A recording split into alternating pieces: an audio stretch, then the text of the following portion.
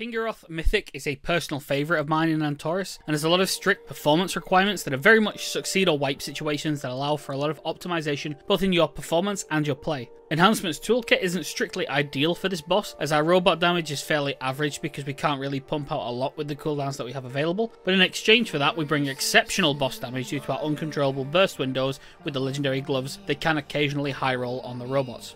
The first thing to look at is your tier 30 talents. All three options can be used, Rainfall is really good for helping to sustain the group if you are using a stack tactic in the background footage that you can see, or for keeping your specific group healthy during the robot phase by planting it around the melee. Lunge can be really useful for quick transitions between the bots and as a backup movement tool if you feel that you're caught out, but personally my preference of all of them has landed on Windrush, even though I've had some use out of the others, because being able to speed people up to reduce the time in the danger area moving between bots when you're in the Mythics fight specifically is really useful. You can drop this just before the gateway, everyone gets sped up, they jump through, and they're on the next bot immediately. And then you can DPS that and get back onto the boss. And having it as a backup group movement tool later in the fight to avoid the orbs that are spinning around when you're trying to get back to the boss to finish him off is extremely useful. Up next are your defense and mobility options, both of which are very important on this fight as they will be a make or break factor. DPS is not as much of an issue overall.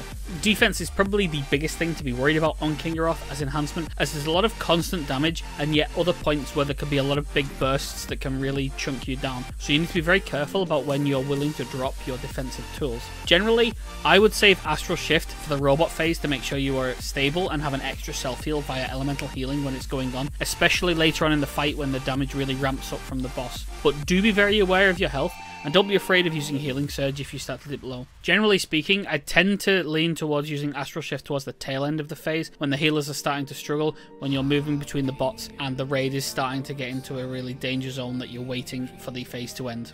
Spirit Walk is great for getting onto the robots during the transition quickly, since if you take something like Windrush, you won't have access to Lunge, and otherwise, getting out of sketchy ruiners during the mid phase if you're out of position and you need to be sure that you're close to your robot as the protocol's coming. Lastly, if you have no other options, it's great for moving between the robots if you don't have access to a gateway and you need to switch over to the third one straight away. Third is DPS optimization. Now, First and foremost, you must make sure that you have your cooldowns for each robot phase. This includes all of those, Earthen Spike, Doomwinds, and Feral Spirit. You are able to use one Earthen Spike in the opener as normal, but not use Doomwinds, and make sure that they're all ready as the next robot spawns. For Feral Spirit, if you drop your target on Kingaroth and cast on the move towards the robot just as it's up, this should prevent them from sticking to him, which is a common issue, and then you can unload all your other cooldowns. Make sure to use Earthen Spike and then Doomwinds straight away to make sure that you don't delay it so you can have a good one minute cycle on the boss, and use it exactly on cooldown during the main phase on the boss so that you don't desync it in future. It's also slightly beneficial to hold your second Earthen Spike during the robot phase until 20 seconds is left on